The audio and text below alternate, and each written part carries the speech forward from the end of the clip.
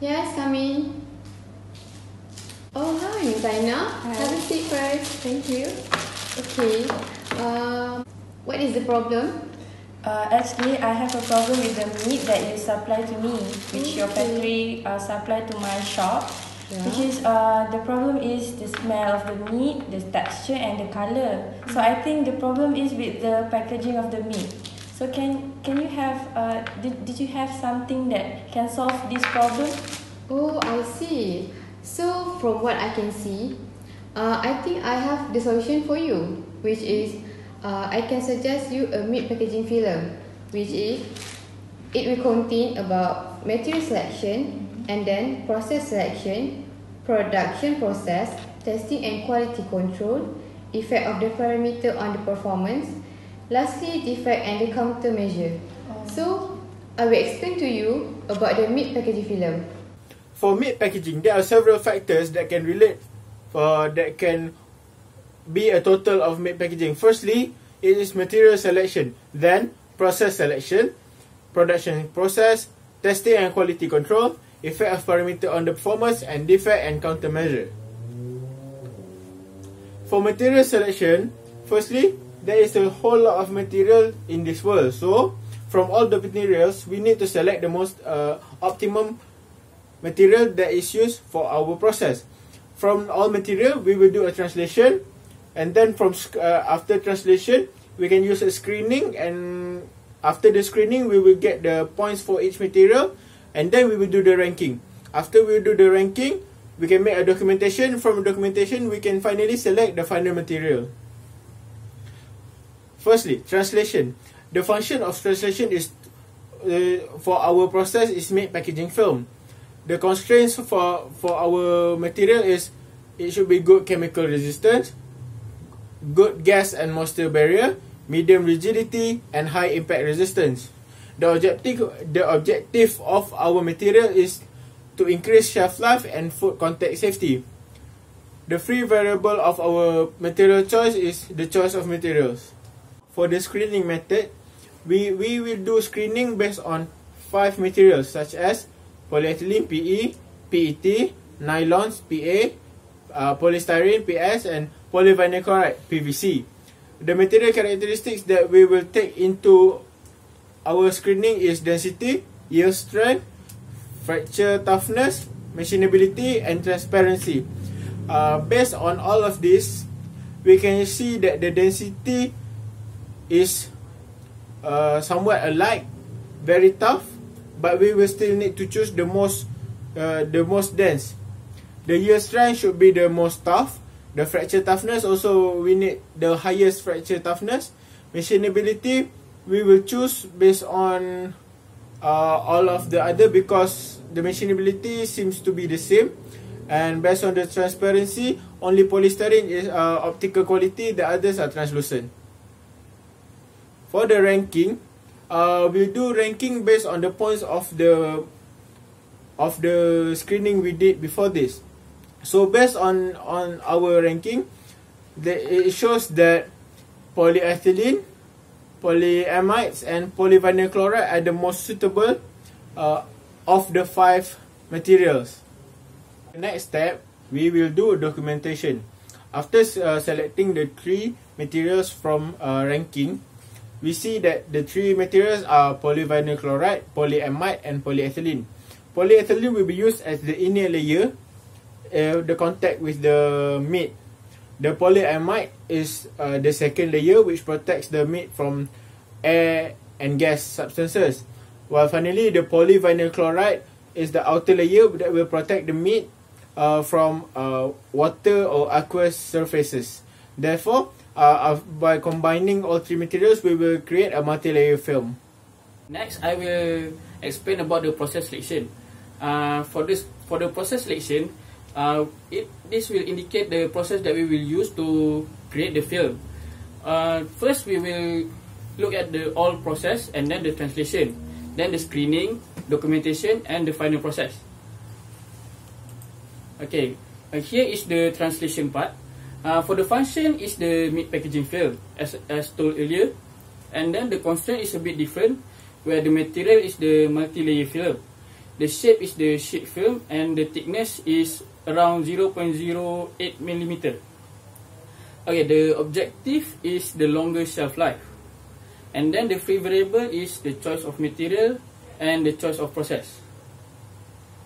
Next is the screening concept. Uh, from the screening concept, uh, we have blow molding, co compression molding, injection molding or thermoplastic, polymer extrusion, vacuum thermoforming. Based on the screening, uh, all the material is is a go, while the shape there is a the injection molding, thermoplastic, and the vacuum thermoforming we cut it off. For the mass, uh, we choose all, and then for the thickness, uh, we only choose polymer extrusion and vacuum thermoforming. While the economic batch size, we only choose compression molding and polymer extrusion. And then uh, after all that is done, we will continue with the polymer extrusion and the vacuum thermoforming. Uh, uh, wait, sorry. Uh, we will only continue with the polymer extrusion. Next is the doc documentation where the process. Uh, we there is three uh, three process which is extrusion process, cast extrusion process, and then the vacuum pack process. Uh, the, my friend will explain about this later. Next, we are moving to processing of raw material by using extrusion process. First of all, material enters through the lead hopper and then conveyed through the barrel. Heat is generated by the friction of the screw turning. Then we melt the materials usually come from the motor and then as the screw turns, reaction is a push again the molten material, forcing that the material out the other end. As as the hot soft plastic image it take the shape of the hole if passed through a long slit makes a sheet film. A circular opening make pipe of a tube to be blown out to thin to thin the film. As the roll of film increase in diameters, the thicker film builds on itself and the thinner film is stretches. And then we can get the multi-layer film. Next, we are moving to processing of film by using cast extrusion process. This is the flow chart of the cast extrusion process. We start from the granules of the different plastic uh, are melted separately and the melts are brought together in the extruder. The combined plastic then uh, extrude as a single product in which the ex the co-extruded layers bond directly to each other. Then combined polymer travel through a flat die system to adopt its final flat film shape. And then the die system is formed and the die and feedblock. Immediately after existing the die, the molten curtain enter the cooling unit where the temperature is lowered with water-cooled sheet roll. And then, when the film is passed downstream, where the edges are trimmed.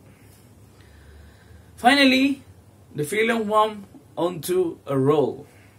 Lastly, the thickness of the film was measured to be about 0.09 millimeter. Okay, we move to the next one, which is testing and quality control or QC. Okay, there are three uh, testing and quality control, which is strength properties, uh, barrier properties, layer and thickness identification. Okay, the next one is effect of parameter on the performance of meat tray packaging. The first one, moisture and gas. The, uh, the second one is color of the meat. And the third one, barrier properties. Okay, we move to the types of defects and countermeasure. There is three of moisture release, uh, including bubbles or forming of the melt, uh, wet line on filament packaging, and holes in the filament.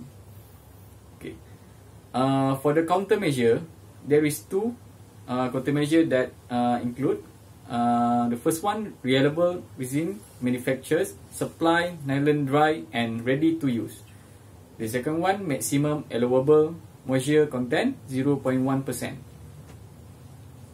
Okay, we move to the conclusion. As we can uh, see, uh, we can conclude the fresh meat is a sensitive product. Consumer expect a minimum shelf life of 10 days including the pre preservation of the color. The second one, uh, selection, mat uh, selection materials, packaging methods and storage environments are the key to obtain high quality packaged meat products. Some challenges remain such as potential negative impact on product sensory attributes, increased costs and difficulty in achieving standard standardized coating procedure for large scale commercial operation. Okay, the last one, more research uh, is needed to improve the manufacturing and application process of edible coating and filament intent, intent uh, for the meat industry. That's all from us. Thank you. Oh, now I get it. So I think I hope that all the explanation you told me just now, I hope that we can that it can solve the problem with the packaging and solve the problem that I told you before. Uh, so I think that's all lah. Sure, I hope that I will help you a lot. Thank you, Miss Aina. Thank you.